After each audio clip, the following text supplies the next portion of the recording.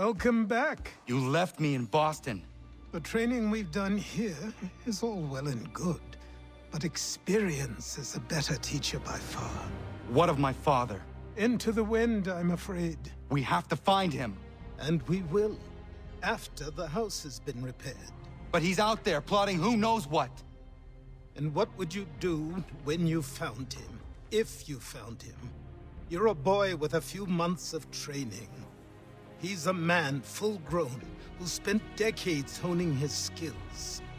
If you're going to stand a chance against the Templars, you're going to need these.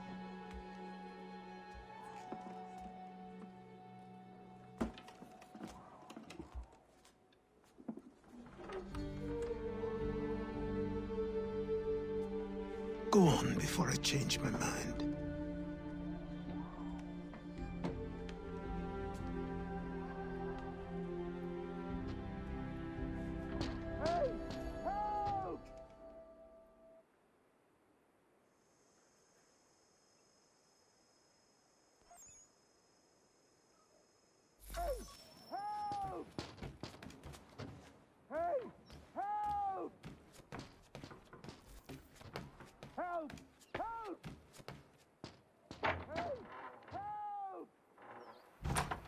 Sir, please, help!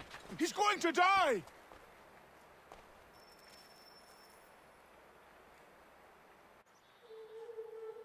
Who? There's no time! Please, come!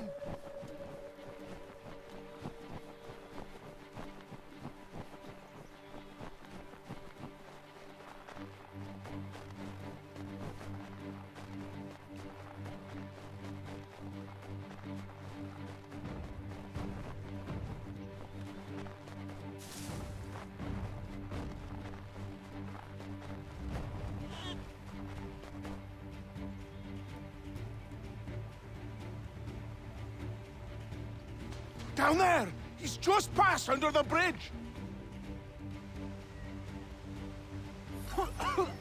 Help me!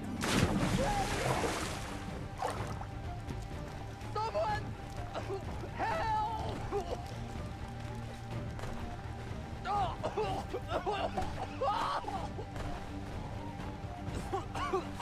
Help me!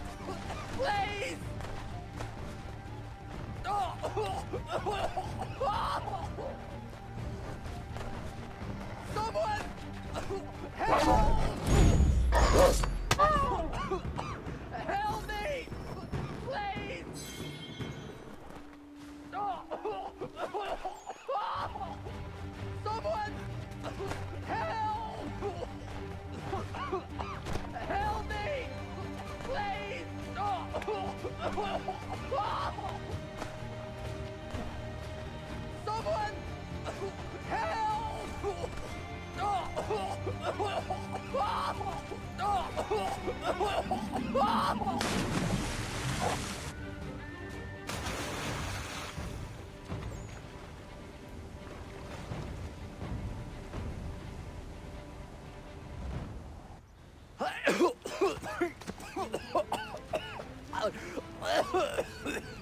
What this knobbend is trying to say is he's forever in your debt, sir.